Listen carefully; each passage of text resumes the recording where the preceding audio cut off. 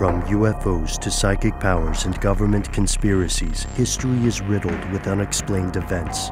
You can turn back now or learn the stuff they don't want you to know.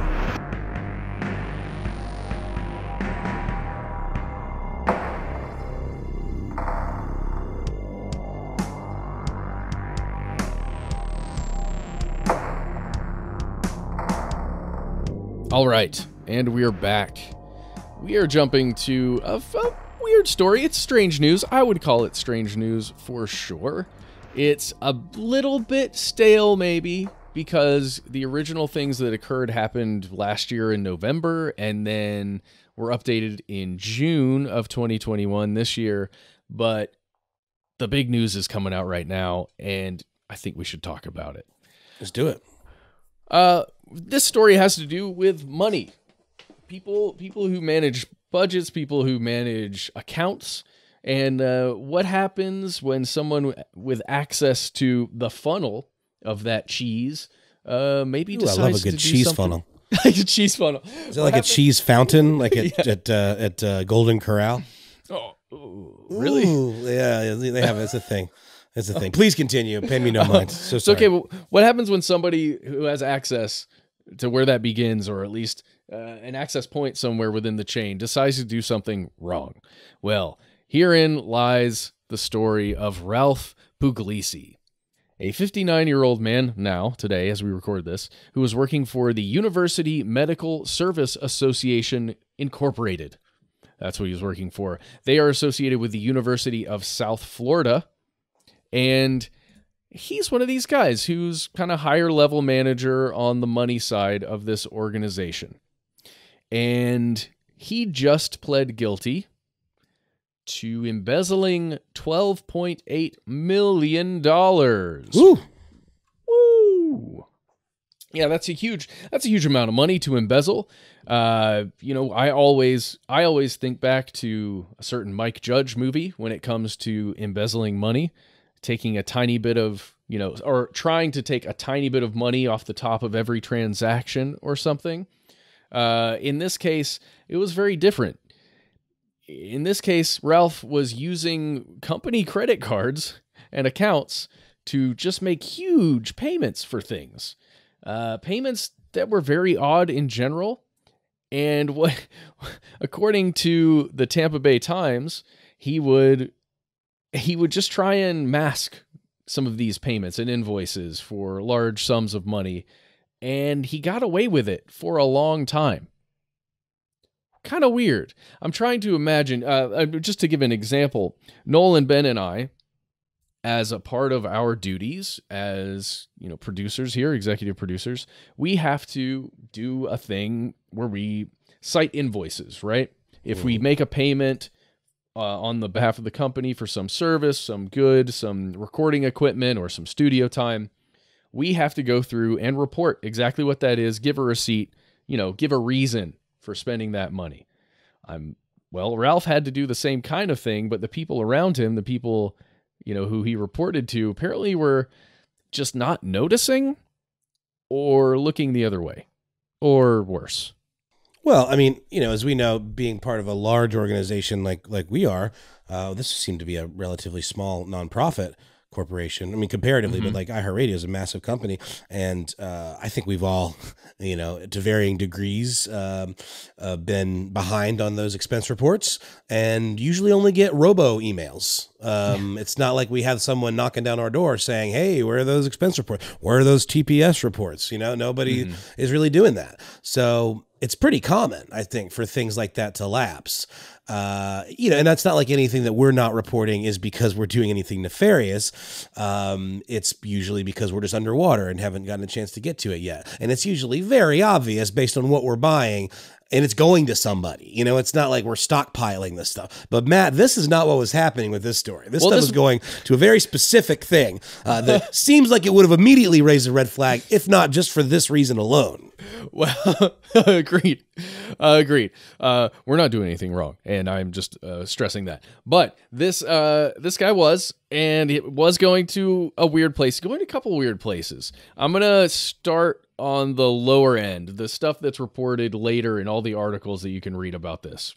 before we get to the juicy thing, Noel, if that's okay. Please, please. Um, Glad I didn't spoil it. So, uh, this guy is accused, according to the Tampa Bay Times, of making around $650,000 in payments to an LLC that was owned by himself and his wife. Um, like personal travel that went up like $375,000 in personal travel. Can you imagine traveling that much?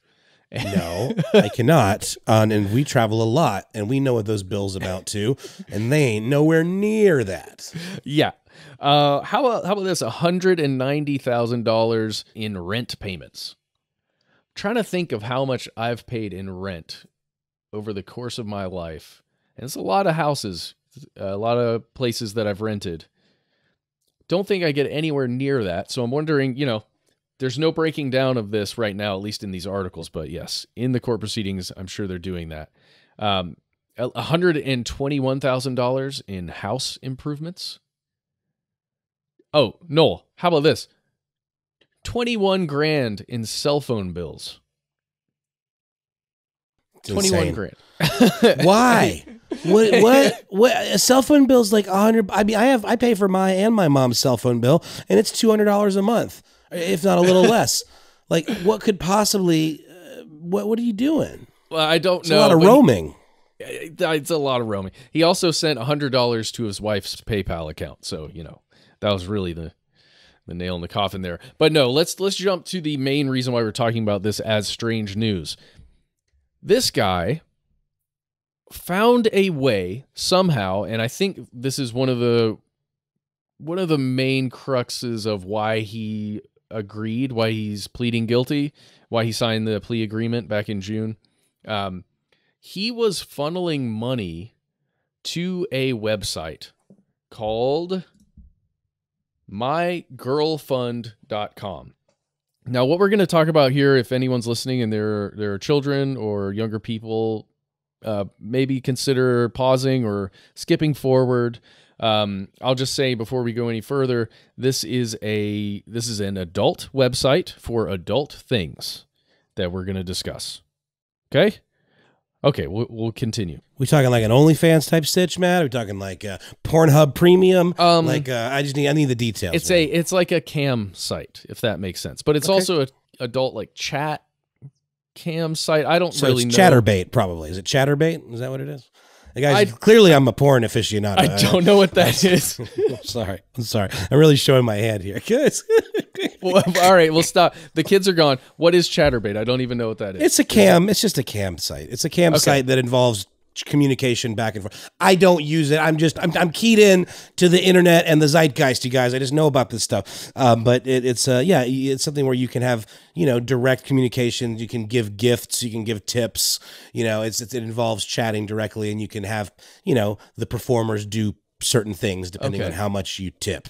So, point being is it's not a subscription service and it could be an all bets are off thing where if you really have a problem and you're in some sort of like porn addiction rabbit hole, you could be dropping mad cash on a particular performer of your choice. That would be like uh, outrageous.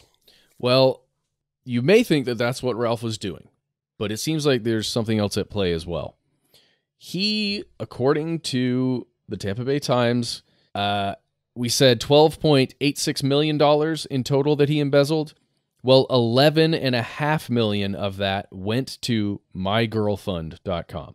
Jeez. Eleven and a half million dollars. Wow. And before, you know, you think, wow, this guy just was, yeah, like you said, really into a few people and gave them a lot of money. Um, he was actually embezzling this money with, they think, authorities think, with the help of a family or, or a, a close family associate, let's say. According to authorities, they believe this person was his stepson's fiance.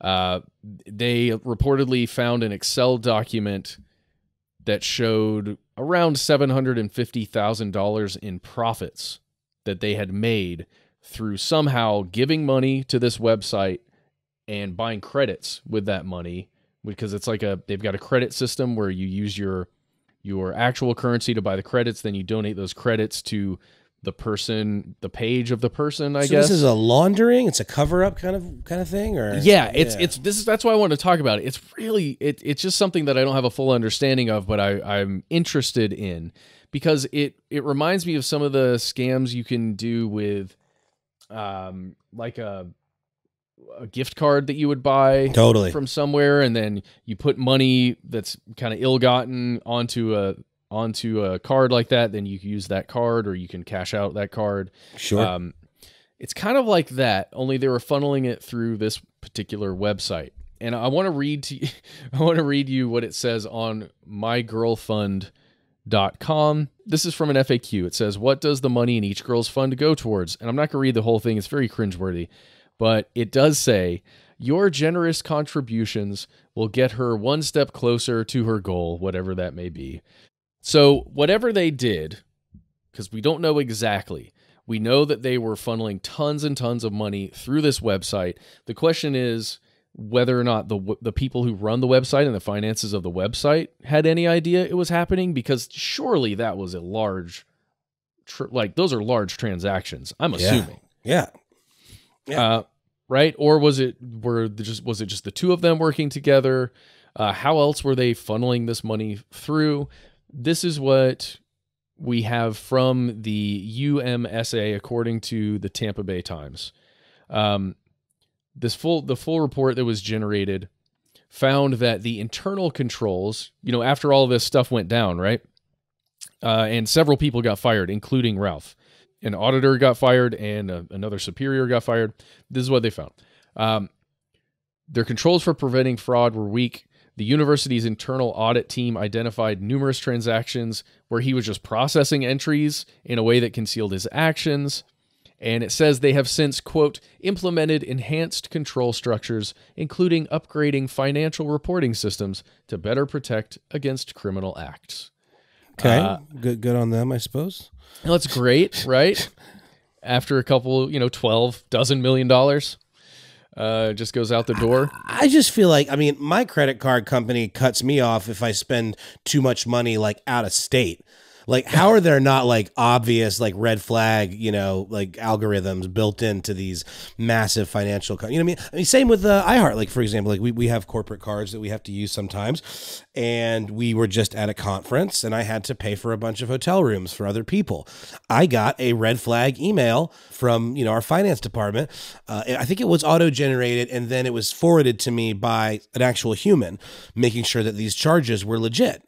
Um, and I said, yes, they're legit. But it was me, the potential fraudster, that was saying, yes, these charges are legit uh, for reasons. So I suppose if that same thing happened with our guy here, it could have been a similar situation. But it just, all of these just seem so suspicious, every single one. Yeah, it's it's some weird stuff, and I'm we're not even going into all the details here, but I, I'm going to read you uh, this last thing, which is so where did this money come from? He's working for a nonprofit associated with the University of South Florida. Uh, they they seem to be involved, at least from my understanding, with staffing. So staffing a lot of the organization's needs. Um, there's medical, really big medical schools there. It said the stolen money quote came from funds generated by patient care, and just wait for it, no state philanthropic grant or research money was impacted. So, you know, just the money that patients were going in for procedures and for healthcare, that's all that was stolen. Uh, but I guess if, from the company's standpoint, that means that's basically their profits. It's not the you know the money they were holding for any other major reason. Freaking uh, wild, dude. Really weird stuff. Uh, you know, what's the stuff they don't want you to know? Well, there are a lot of people who are somewhat connected to the financial processes of companies across the world. And it makes me wonder how much of this stuff is happening on what kind of scale, right? Is it really tiny stuff? Are we are we thinking office space level here or are we thinking what the office space guys actually did accidentally, right? And stole millions and millions of dollars. It would be really cool to know if you've ever heard of anything like this, if you've got an interesting account of something like this occurring, or maybe even an historical example. We would love to hear from you.